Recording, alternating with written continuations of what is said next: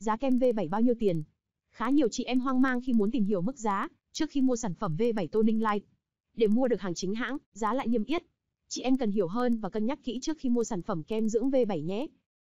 Bên mình là shop bán hàng, nên có được cực kỳ nhiều thông tin phản hồi từ khách hàng, nên bên mình sẽ biết và tư vấn chính xác là bạn nên dùng sản phẩm nào sẽ phù hợp với da của bạn hơn, để bạn không tốn tiền mua thử hết sản phẩm này sang sản phẩm khác.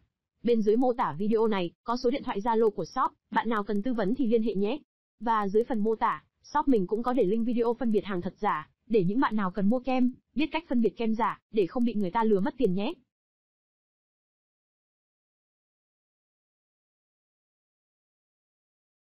Chỉ cần những gõ những từ khóa đơn giản tìm kiếm tại các website hay các trang mạng xã hội, chị em sẽ nhận được khá nhiều kết quả khi mua sản phẩm kem dưỡng trắng da V7 Toning Light.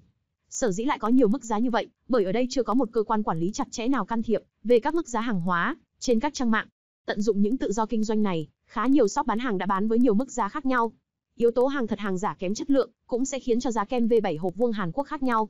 Nhiều người nhập hàng chính hãng về bán tất nhiên chi phí nhiều nên giá thành cao. Tuy nhiên nhiều đơn vị khác sử dụng hàng nhái, hàng Trung Quốc sẽ bán ra mức giá rẻ hơn thị trường. Nhưng suy cho cùng giá thành cao chưa hẳn là sản phẩm tốt. Lợi dụng đánh vào tâm lý người mua hàng, giá sản phẩm V7 cao cứ cho là tiền đâu của đó. Điều này không thể đúng khi các mặt hàng được bán qua mạng chưa kiểm chứng được. Vì thế điều cần thiết nhất chị em nên lựa chọn nơi mua hàng uy tín, bán giá cả phù hợp, khách hàng đánh giá cao. Như vậy, mặt hàng sẽ đạt chất lượng và chị em cũng yên tâm sử dụng hơn. Để biết được chính xác kem V7 Toning Light giá bao nhiêu mà không bị người ta lừa mua phải hàng giả nhái, bạn có thể nhắn tin cho shop để được tư vấn trước khi mua nhé.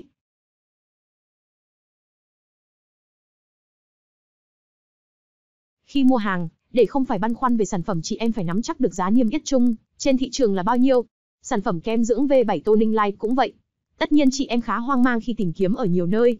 Nhưng lưu ý chị em nên chọn các trang chuyên về mỹ phẩm, bán đa mặt hàng và uy tín để so sánh giá.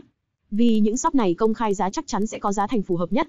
Đối với kem V7 hiện nay, giá kem dưỡng da V7 Toning Light 50ml có giá hơn 450.000 đồng. Đây là mức giá chung nhất trên thị trường và phù hợp với nhu cầu sử dụng của nhiều khách hàng.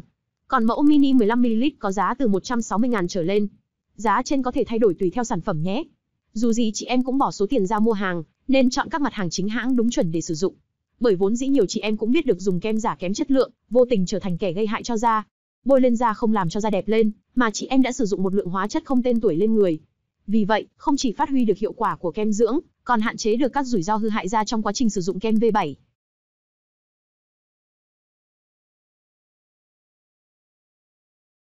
Kem V7 hiệu quả tốt, nên bị làm giả nhiều. Bạn nên mua hàng ở những shop uy tín, bằng cách xem shop đó có nhiều khách mua hàng không, shop đó có được khách hàng đánh giá và nói tốt về sản phẩm hay không.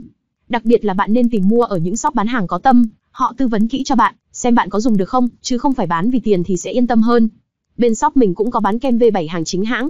Shop mình cho bạn kiểm tra hàng trước khi nhận, để đảm bảo bạn không bao giờ bị lừa mua phải hàng giả. Bạn có thể nhắn vào Zalo bên dưới để được nhân viên tư vấn kỹ cho bạn nhé.